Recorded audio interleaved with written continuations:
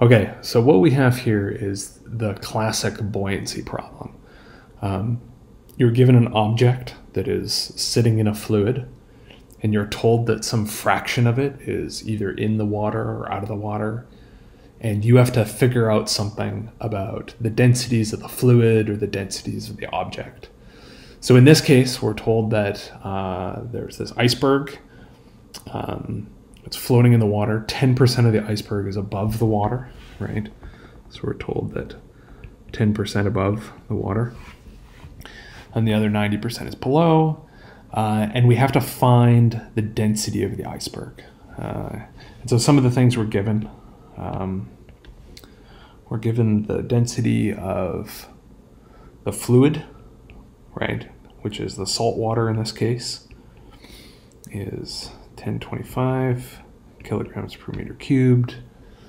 Um, yeah, I think that's pretty much all we need actually. Um, this, the total volume, I'm going to call the total volume of the iceberg V berg. Okay. So I think I think we're pretty pretty well set up. So the first thing you want to do with any of these is draw a free body diagram, right? So this is really a balance of forces. That's why this iceberg is floating.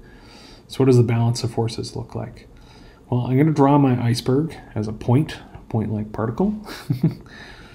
There's some buoyancy force acting upwards.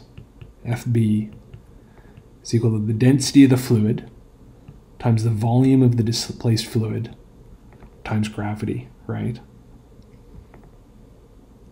And then there's this other one, there's this other force, let me get purple, which is the force of gravity, right? Fg is equal to mass of the berg times g, right? And we know actually that we know uh, how mass relates to density, that this is actually related to the density of the berg times the volume of the berg times g, right? Okay. So now that we have now that we have this equation written down, we know that in equilibrium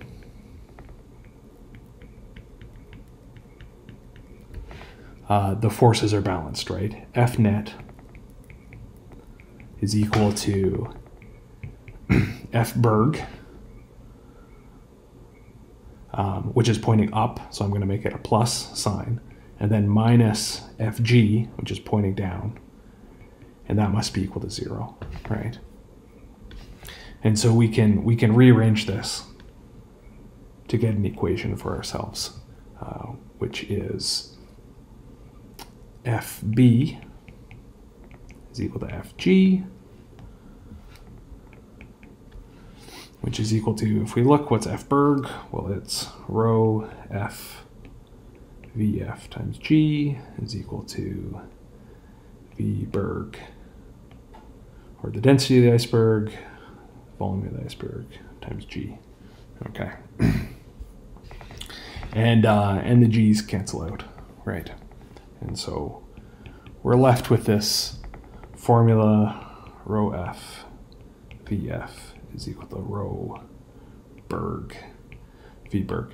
So it sort of it sort of looks like we're we're stuck at this point because um, we don't know the volume of the iceberg, we don't know the volume of the fluid displaced, but we're given a very a very specific piece of information.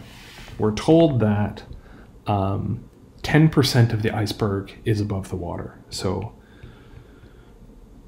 because 10% is above water,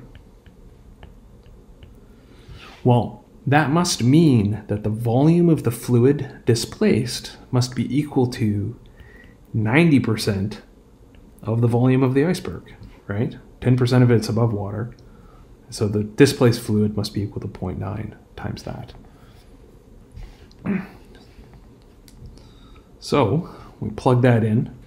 So we have rho f times 0.9 v berg is equal to rho Berg times V Berg.